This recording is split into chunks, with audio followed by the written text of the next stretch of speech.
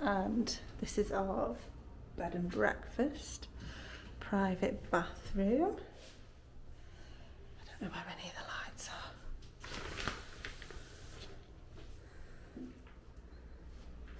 And this is our room.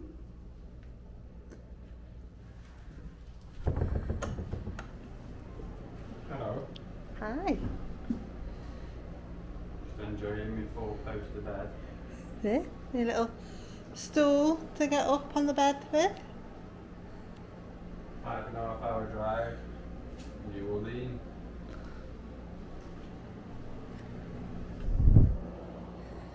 And then through here there's like a little bit of a sitting area and a piano for some reason. And then we've got a little fridge, uh, microwave, toaster, coffee machine, drinking water. And then out here we have, if I can open it,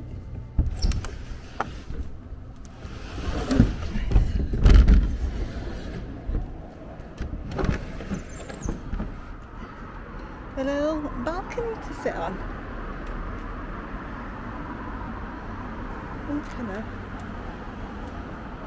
That overlooks the uh, magazine magazine street uh, and houses below.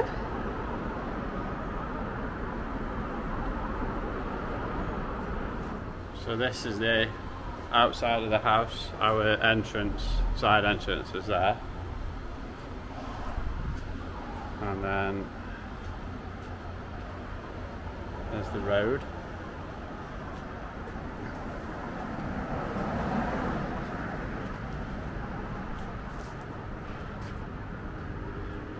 Our bedroom room is just on the top there. That's the balcony that we uh, can sit out.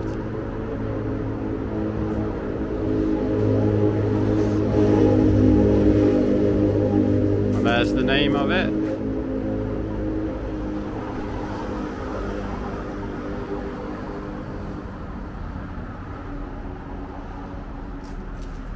And this is Magazine Street that it's on.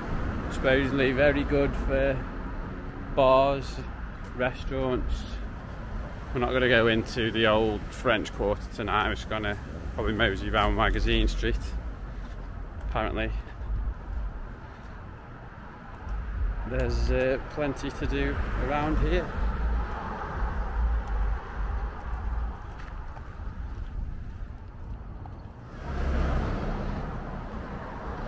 Don't think we uh, do anything like this in the UK.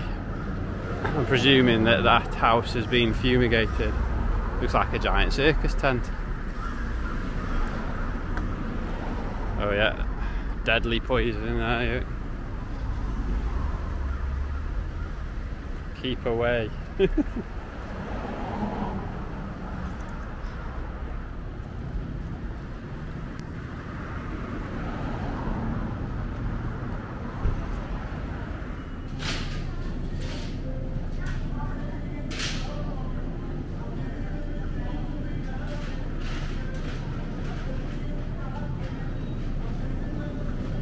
Just come down to a local store. Don't really know what for. Just gonna get some drinks and things, and then uh, we'll make a plan from there. Just about about a ten minute walk from our B and B called Le Brew Supermarket or something.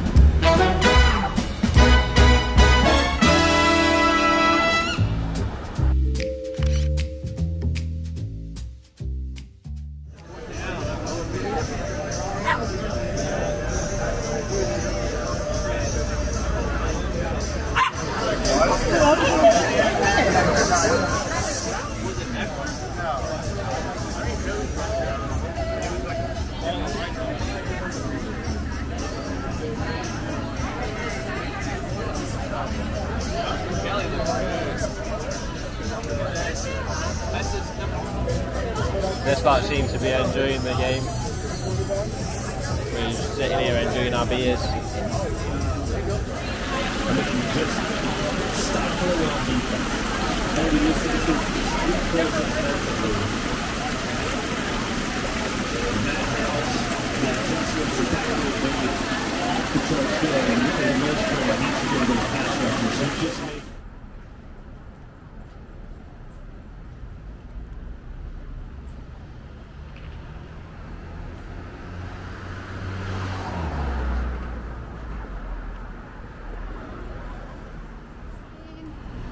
Morning. Had a good night's sleep in uh, our B&B. Uh, we scoped some coffee shop down here uh, yesterday. So we're going to go get coffee and oh, maybe a beignet. Yeah.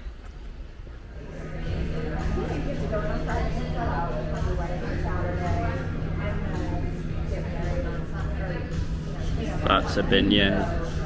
Apparently it's like a donut thing. We shall see.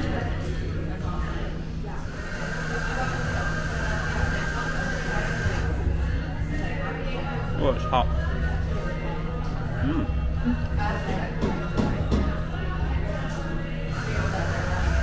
It's like a donut. A big empty hollow inside. It's very light though.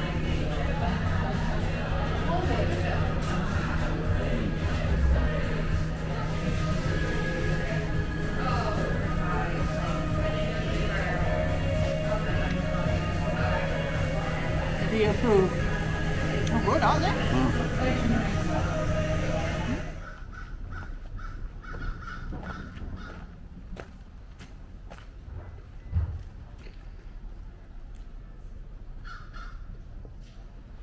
This is Lafayette Cemetery number one, above above ground cemetery. Closed to the public at the minute though. I think it's been closed for quite a while. No one knows why.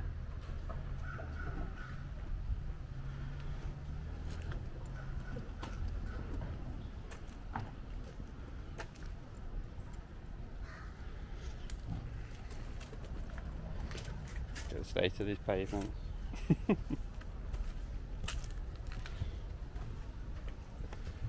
And you thought Mia was bad.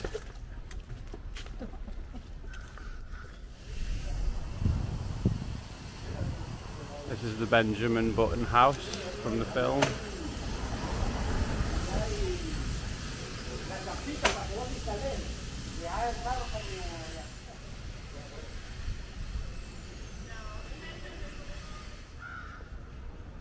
John Goodman's house.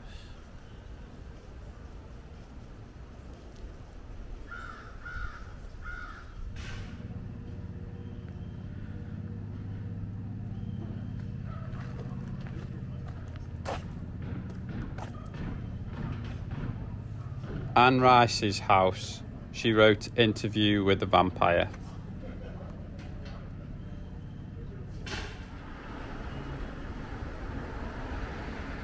The Witch's Coven house from American Horror Story.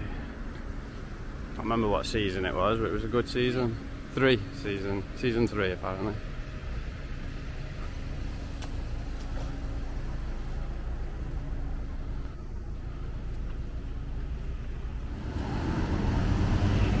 The St Charles streetcar line is the oldest continuously operating streetcar line in the world and has been in operation since 1835.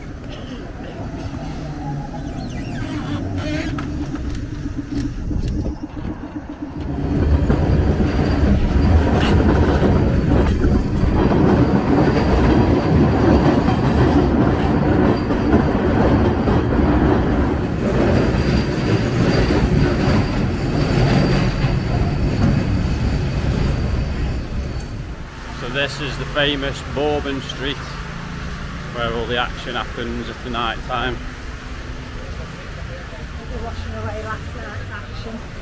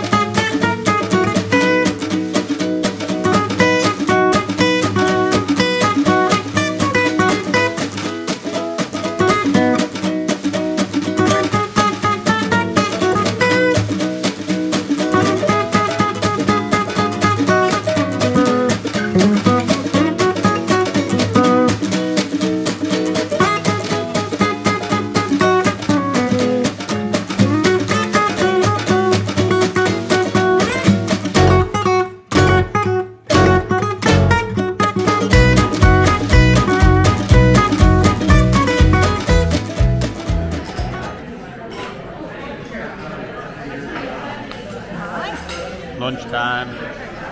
What are you having? Gumbo. So this is gumbo. I've got uh, chicken and sausage one, and she's got Seafood. seafood one. Look at that bit of crab.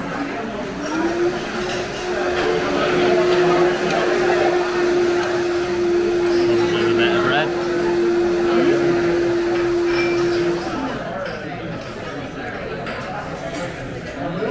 Nice.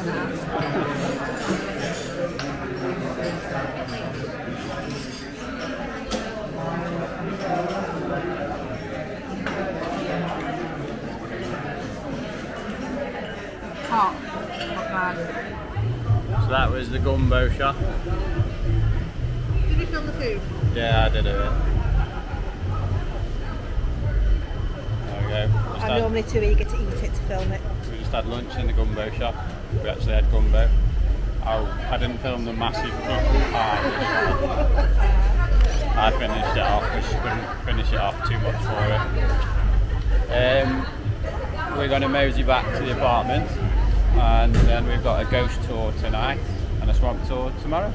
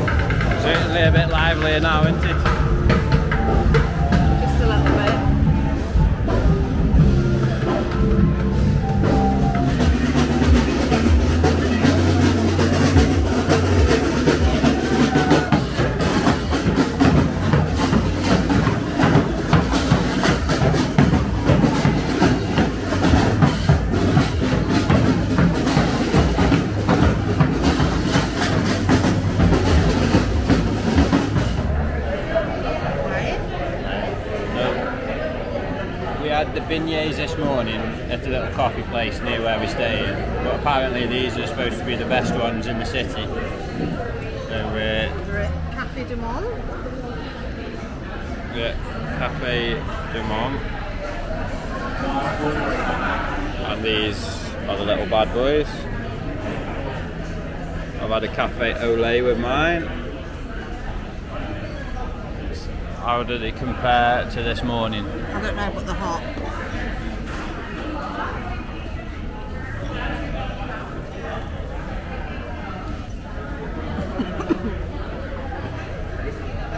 Oh, they're a lot lighter than this morning's and crispier. There we go then. Better than Yeah, better than. Yeah.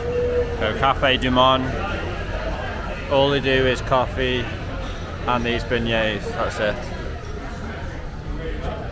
Normally there's a queue out the door apparently, but it's really quiet in the city. So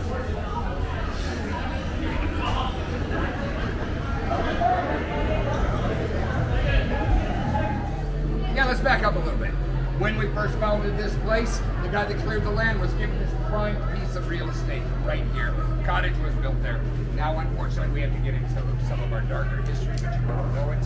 Um, and we can't talk about this place in any way, shape, or form without addressing it. We did um, involve ourselves in the terrible institution of enslavement.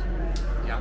Um, and 3,000 people, enslaved people, were brought here against their will to dig those canals we talked about that kept us safe at that time. They're associated with residual energy, people that haven't moved on because they have unfinished business.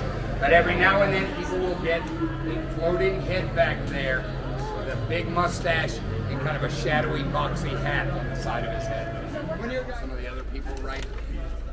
Um, there have been thousands of stories about this woman. Some of them historically founded, some of them just fantastically thrown out because everybody will believe them. And when you hear what she really did, you'll know why they're willing to believe them because what she did in real life is so much worse than anything that um, that they could exaggerate. Stories have been. Him, Delphine LaLaurie began as a young girl named uh, Delphine McCarty on the plantation on the other side of the Marigny plantation. McCarty plantation is now known as the Bywater, a really cool bohemian section of New Orleans. You might want to make your way over there if you have enough time. Um, she is known even at the age of a seven, watch your backs y'all because traffic comes this way, um, for abusing the enslaved and indentured people on that plantation. Um, you've heard the term slave quarters, right? We didn't have that here, we're a port city, but it was all So that was the ghost tour we've just done. It was uh, interesting. Wouldn't say so much creepy, but some of the stories were quite good. And now it's going to wander up to Frenchmen Street.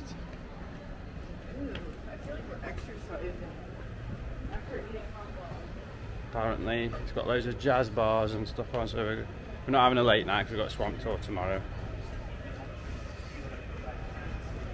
Let's go have a look at Frenchmen.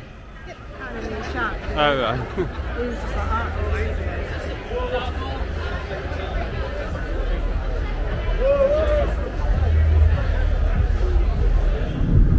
Where the Saints play.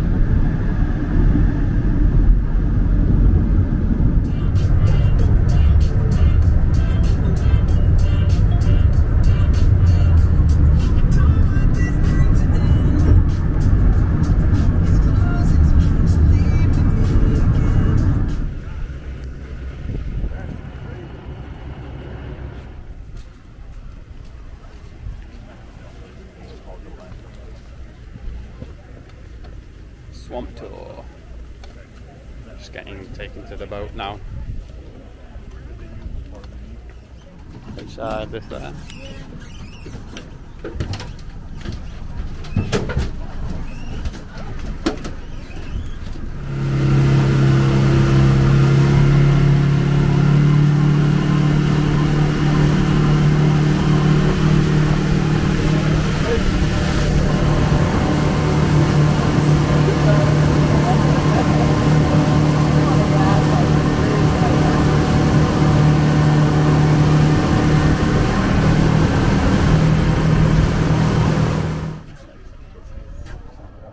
They can, they can swim 20 miles an hour when they want to.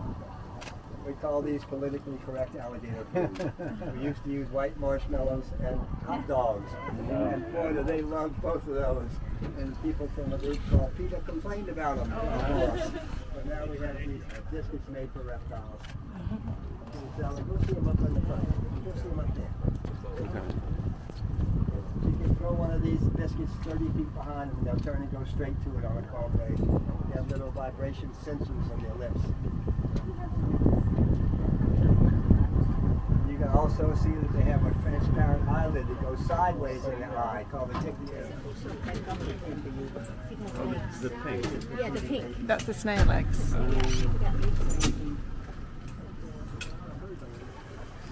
that big, they're cute.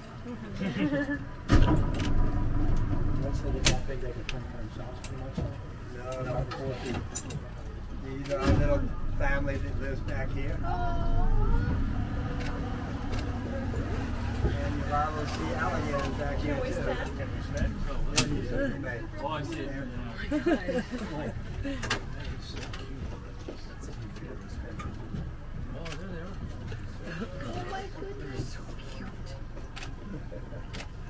Yeah, they're, they're, they're fun.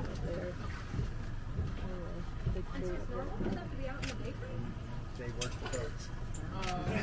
They know. They're real smart. Oh, look at that. Now these these are full-grown raccoons here in Louisiana. Ours are a lot smaller than most places. People from the West Coast and the mid Midwest tell me that theirs are 30, 35 pounds. Yeah. Yeah, right.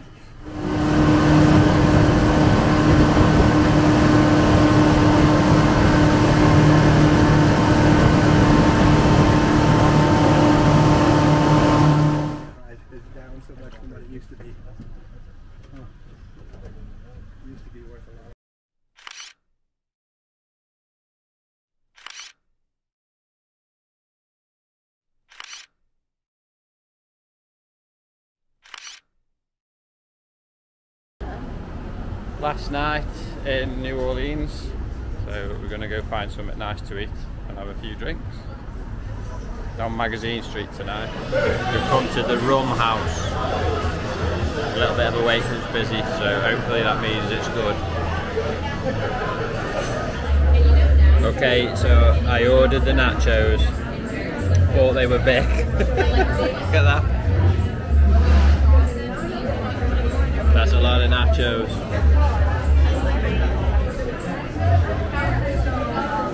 Looks nice. Tacos. Beef and blackened fish. Sweet potato fries and black beans and chorizo. Very good.